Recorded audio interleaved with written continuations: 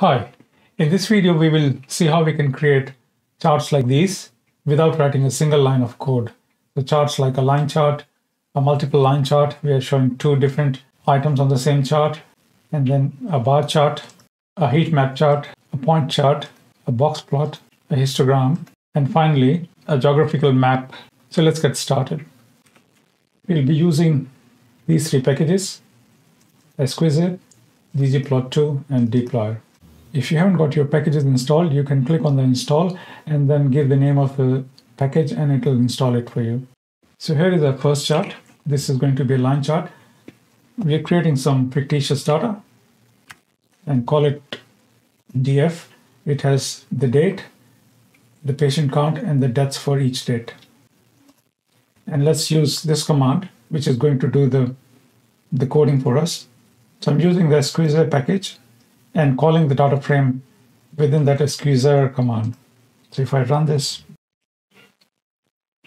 you would get this display. So in order to draw the chart, you would just have to drag the date on the x-axis and the patients on the y-axis, and it'll give you a chart. Then you can go to the labels and title, change the title as line chart. You can give a subtitle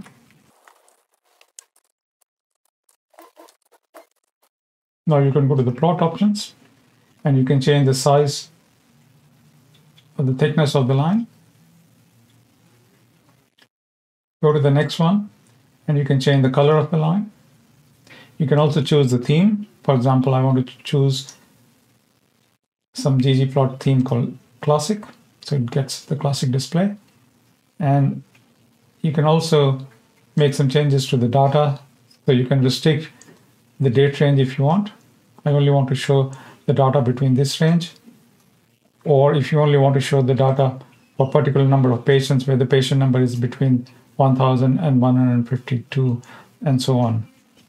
So after you've done everything, just click on the code and here's the GG script code. All you have to do is just copy it to the clipboard or copy it like this and then close this. So now if I copy this code and run this code, you'll get your chart. Now let's see how we can do multiple line charts. In this example, we will see how we can do multiple line charts where in the same chart you will have two lines in this case. For example, we want to show the patients as well as the deaths on the daily basis. So I'll create a data frame called df2. And if you notice the df2, it has date, name, and value. And then it has two rows for the same date. One row shows the the patients, the other row shows the death. And the field is called name. So let's call this in the Esquisse and put the date on the x-axis, the value on the y-axis. Now we can color it by the name. Now we have two lines. One is showing the, the patients and the other one is showing the deaths for the same date. And of course you can go and customize it.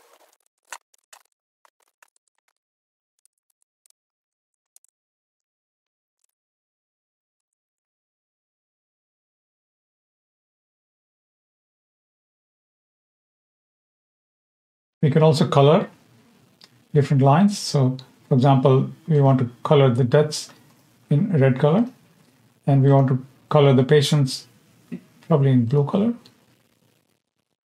or some variant of blue.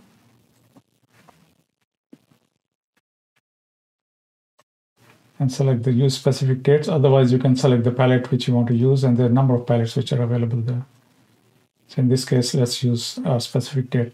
And again, the theme can be chosen. This time, let's try a theme called Economist. And you can also change the position of the legend. If you want the legend on the left-hand side or on the top or on the right-hand side, you can do so. In this case, I'm just going to put it on the top. And after that, if I take the code and run it, I get a nice multiple line chart. Now let's go to the third chart. And the third chart is going to be a bar chart.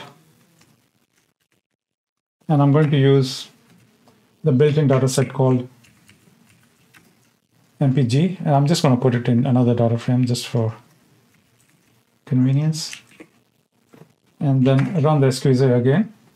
And this time I'm going to use, since it's going to be a bar chart, I'm just going to put manufacturer on the x-axis and it automatically does the count for us and it creates a nice bar, chart.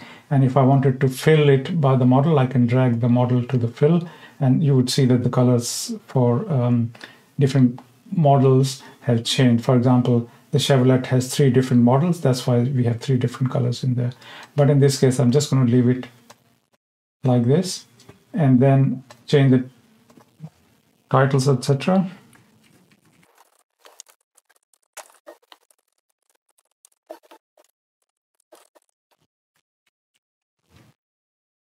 And if I wanted to change the appearance, I can change the color of the fill.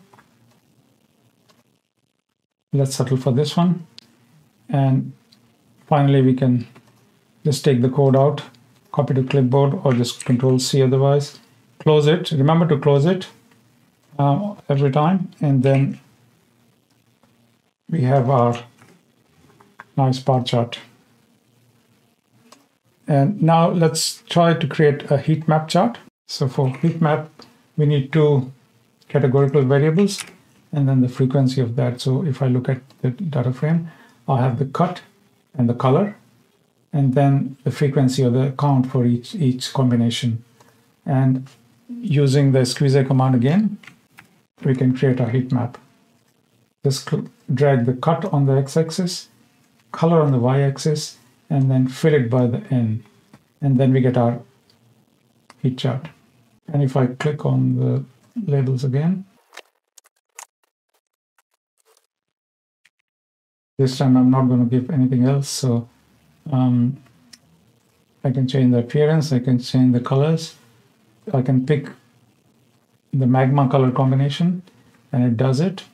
And you can change the orientation or the positioning of the, the legend, which is on the right hand side. You can bring it to the top if you want. And then once you're happy with that, you just go there and say copy to clipboard or control C. And remember to close it. And here is our code. And our heat map is ready to go. Now we're going to create a point chart. I'm using the mtcars dataset, which is a built-in dataset, passing the data frame to a esquisser, and I'm going to put MPG and then maybe the weight on the x and y axis and then maybe I want to change the shape or the size of the, the dots based on the weight so higher weight would have bigger size of the dots and so on and again you can change the titles etc then we can change the color we can change the theme. In this case, let's do a dark theme.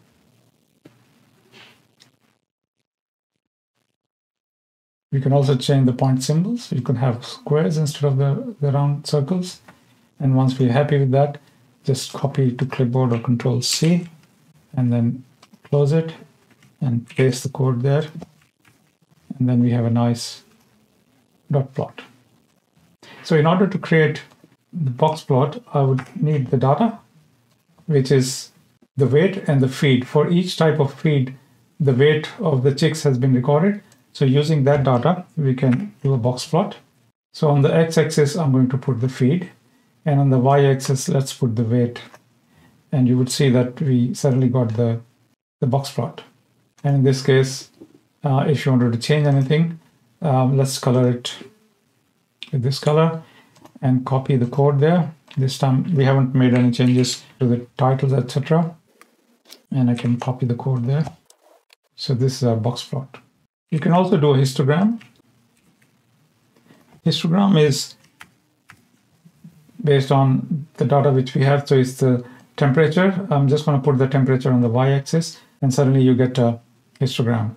You can change appearance as well. So let's make it green color. And then again, now copy the code, close it, paste it. And now using the script which, which has been given to us, we can create our histogram. Now finally, the most interesting one, map. So I'm going to use some data and I normally use this website to get the spatial data. So this is the website. You can select a country and then you get different charts, administrative areas, inland water, roads. In this case, I've selected the administrative areas and then downloaded the data. That data comes in different formats. So we are using the shape format data and I'm also going to use a, a library called SF and then I'm going to read the SF data, which I've just downloaded from the website. And once I have the shape files, I'm just going to use the shape files called int underscore adm1 dot shape. So once you download the data, you get a zip file and you have various files in there. I'm going to use a file called int underscore adm1 dot shape, which is this one. So I'm using that file and reading it as a SF format or simple features format, and then calling this data set called NC.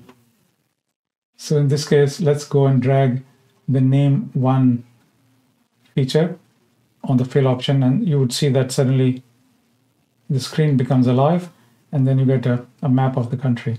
In this case, this is the India map, and all the states have been plotted. And remember, this is based on the shapefile which we have downloaded. So the shapefile contains the boundaries of each state. And then, of course, you can put your details in there, the titles, etc. Go to plot options, and I want to reduce the, the, the line thickness. I can choose a different set of colors, for example, magma. And I don't want to see the legends so just remove the legends by saying cross. And let's use a theme called, there's a theme called map, which is useful when you're plotting maps because you don't want to see the any details, you know, the lines or the, the x-axis, y-axis, etc. So use the theme map and you get a nice map of the country. And I'm just going to copy the code and then close and then if I run this, so this is a nice map which has been filled with different colors, one for each state. It's not a choropleth map because for choropleth map, you would need some data, for example, the population or number of patients or number of sales, etc. And this is only being colored by the, the states. There's another video which we have which talks about how to create choropleth maps using different shapefiles and then using characteristics like population or any kind of numerical data. I hope you found this information useful and practical. Thank you very much for watching it and I'll see you in the next one.